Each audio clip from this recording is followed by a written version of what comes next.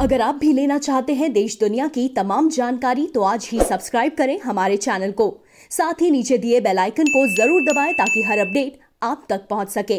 नमस्कार प्रभाव साक्षी news network आप सभी का स्वागत है। इस वक्त की सबसे बड़ी खबर आ रही है कि देश में लॉकडाउन की अवधि को दो सप्ताह के लिए और बढ़ा दिया गया है। लॉकडाउन पार्ट टू, जो कि तीन मई को समाप्त हो रहा था, अब लॉकडाउन पार्ट थ्री लग गया है, जो कि सत्रह मई तक चलेगा।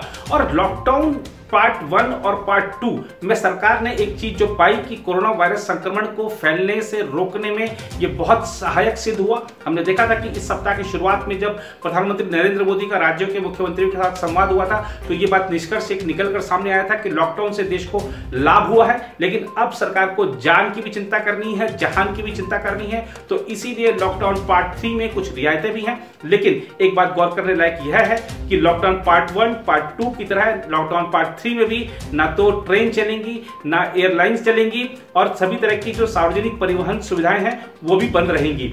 और स्वास्थ्य मंत्रालय ने आज सुबह ही देश के कुल जिलों को तीन जोन में बांट दिया था। रेड ऑरेंज और ग्रीन रेड जोन में जो भी ज़िले आते हैं, उसमें किसी तरह की कोई रियायत नहीं दी गई है, कोई छूट नहीं दी गई है। सिर्फ़ जो एसेंशियल सर्विसेज़ से जुड़े जो लोग हैं, या जो ग्रोसरी शॉप्स हैं, चाहे मेडिकल शॉप्स हैं, इन सबको ही खुलने की अनुमति होगी। ऑरेंज जोन में भी ऐसा ही होगा। ग्रीन जोन में ज़रूर कुछ रियायतें दी गई हैं, जैसे कि 50 प्रतिशत सवारी के साथ जो बसें हैं, सरकारी बसें, वो चल सकेंगी। इसके अलावा कुछ जगहों पर 50 प्रतिशत कर्मचारियों के साथ दुकानें इत्यादि खुल सकेंगी। लेकिन सिनेमा घर हो, चाहे मॉल्स हो, चाहे पब्स हो शॉपिंग कॉम्प्लेक्सेस हो, ये सब पूरे देश में बंद ही रहेंगे। 17 मई तक इस बारे में घोषणा कर दी गई है केंद्रीय गृह मंत्रालय की ओर से। और ये चीज़ साफ़ की गई है कि जो ग्रामीण क्षेत्रों में जो उद्योगों को अनुमति दी गई थी, काम करने की, किसानों को अनुमति दी गई थी, वो जारी रहेंगी। और जो खासतौर पर हम देखें, ग्रामीण आबादी चूँकि अभी तक इन सबसे अछूती रही है। कोरोना वायरस के संक्रमण के वहाँ पर ज़्यादा मामले नहीं दिखे हैं तो इसलिए वहाँ पर रियायतें ज़्यादा हैं। लेकिन ग्रीन जोन पर पूरी निगरानी रखी जाएगी, कहीं कि कहीं वो ऑरेंज या रेड जोन में नहीं आ जाए। रेड जोन और ऑरेंज जोन में भी पूरी निगरानी रखी जाएगी, इसकी व्यवस्था सरकार ने कर ली है और हर ज़िले की प्रोफाइलिंग हुई है। उसके बाद उनको, चाहे हम रेड की बात करें ऑरेंज की बात करें या ग्रीन की बात करें, उसमें उनको शामिल किया गया है और हर सप्ताह इनकी समीक्षा होगी।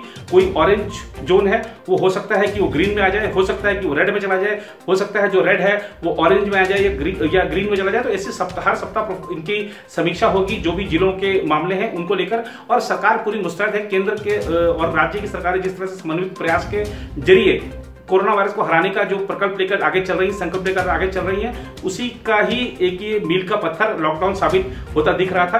ठीक है, लोगों को परेशानियाँ हुई हैं, लोगों को काफ़ी हद तक परेशानियाँ हुई हैं, लेकिन सरकार ने उनका धीरे धीरे समाधान निकालने का प्रयास किया है। खासतौर पर प्रवासी श्रमिकों की बात करें तो छह श्रमिक स्पेशल ट्रेनें चलाने की घोषणा की गई है ताकि जो अलग अलग राज्यों में जो श्रमिक फंसे हुए हैं, वो अपने गृह राज्य पहुँच सके। इसके लिए सरकार लगातार कुछ ना कुछ ढील, कुछ ना कुछ छूट का प्रावधान लेकर आ रही है।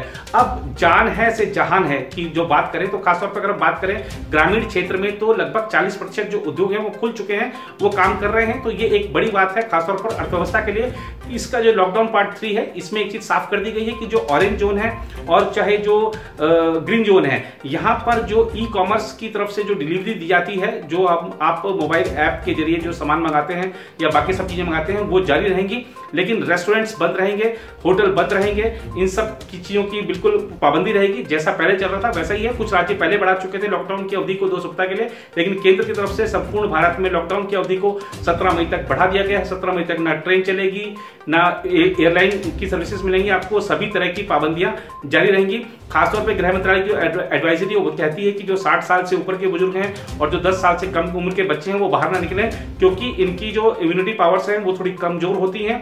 और इसीलिए इनको खतरा ज़्यादा रहता है और अभी तक जो भी मृतकों का आंकड़ा सामने आया है, उसमें सर्वाधिक जो संख्या है, वो साठ वर्ष से ऊपर के लोगों की है।